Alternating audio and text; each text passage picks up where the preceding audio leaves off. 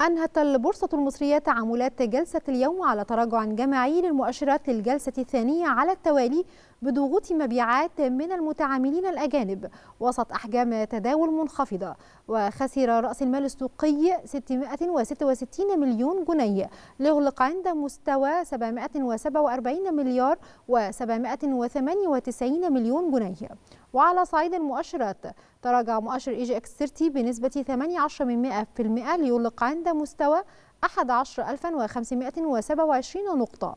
كما انخفض مؤشر الشركات الصغيرة والمتوسطة EGX 70 متساوي الأوزان بنسبة 38 من 100% ليغلق عند مستوى 2147 نقطة. وهبط مؤشر EGX 100 متساوي الأوزان بنسبة 26 من 100% ليغلق عند مستوى 3176 نقطة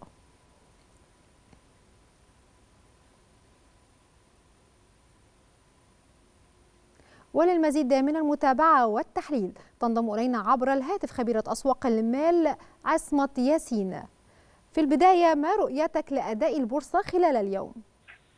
مساء الخير يا فندم. أهلا بحضرتك وبالسادة المشاهدين.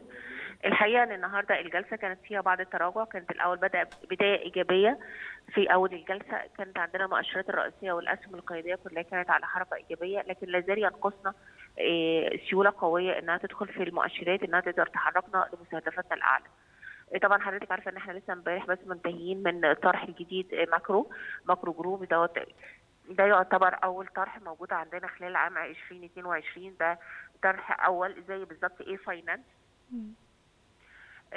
الحقيقة إن الطرح كان ناجح واتغطى 102 102 مرة خلال مم. خلال التعاملات خاصة الأفراد اللي هي كانت 5% طيب. النهارده كان أول يوم بعد التخصيص اللي تم عندنا المؤشر الرئيسي قفل على 11527 ما أقدرش أقول لك إن ده تراجع قوي بل بالعكس إن هو جاني أرباح صحي ومع انحسار السيولة أنا ما شفتش في كسر المناطق دعم رئيسية مم. بل بالعكس يعني نقدر نقول إن إحنا لسه في مرحلة اكيوميليشن على مستوى الأسهم القيادية ككل لسه في أخبار إيجابية موجودة على مختلف القطاعات هي اللي بتأثر على حركة التداول في السوق المصري م. عندنا المؤشر السبعين برضو شهد بعض التراجعات الطفيفة نقدر نقول لسه التراجعات مش بالشكل القوي لكن هنقدر نقول إن إحنا بنحصر التراجعات أكتر في القطاع العقاري هو اللي فيه بعض زيادة رأس مال في معظم الأسهم م. فدي اللي بت بتخلي بعض المستثمرين يعزفوا على إن دخول سيولة جديدة داخل هذا القطاع خلال هذه الفترة. طيب بالنسبة لحضرتك رؤيتك ما أبرز القطاعات الرابحة خلال التعاملات؟ وأسباب الصعود طبعا من وجهة نظرك وأيضا كمان القطاعات المتراجعة إيه أسباب التراجع النهارده؟ زي ما قلت لحضرتك بالنسبة للقطاعات المتراجعة على رأسهم كان عندي قطاع القطاع العقاري القطاع السكني ما فيش عندي تسليم وحدات الأيام دي. حضرتك قلتي العقاري كان مرتفع. لا أنا بتكلم overall على القطاع ككل لا الحركة نفسها مش بنحقق مناطق مستويات شراء أعلى من المناطق اللي فاتت م. إحنا هنقول إن هو مرتفع عشان أحجام التداول لكن عندي قطاع التكنولوجي هو بيعتبر هو القائد النهارده ولاحق على طول القطاع البنكي بقيادة البنك التجاري الدولي بدأ يحقق دلوقتي تجميع قوي وبدأ إن هو بي بيستعد إن هو يبتدي يجرب على مستويات مقاومة جديدة م. كمان ما نقدرش ننسى قطاع الاتصالات برضو في حركة إيجابية جدا وفي قوة شرائية بنشوف في buying power قوي على الأسهم القيادية م. طيب خلال الأسبوع باقي الأسبوع المتبقي غدا وبعد غد توقعاتك للسوق خلال الجلسات القادمة؟ عايزين ننتبه لقطاع الموارد الرئيسية. في عندنا تغيير سعر العملة عالميا بيأثر على الموارد بتاعتنا وبيأثر كمان على الأسهم اللي شغاله في في الغاز والبترول. فده بيأثر عليها وبيدي إيجابية شوية على حركة الأسهم. م. في عندنا برضو القطاع التكنولوجي لسه هيستمر برضو في الحركة السعرية الصاعدة. ولا زال طبعا إحنا على آخر الأسبوع إن إحنا هنستقبل الوافد الجديد في قطاع الرعاية الطبية هو ماكرو جروب. وده بيدي حركة إيجابية على القطاع ككل خلال هذه الفترة.